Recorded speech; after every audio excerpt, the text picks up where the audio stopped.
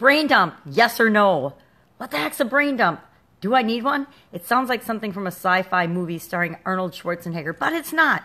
All a brain dump is, is getting the ideas that are overwhelming and cluttering your mind and freaking you out and causing you stress out of your head and into an area or a place that you'll remember them. Could be a notebook, could be note cards, could be your computer, could be your cell phone. Somewhere you just get all the ideas that are cluttering your mind out and on paper so that you don't lose them. You can access them some other time, but they also aren't bugging you and stressing you out. So if you're stressed out, overwhelmed, frustrated, annoyed, irritated, or feeling any negative emotions like that because of your busy, busy, busy schedule, do a brain dump today. Bye.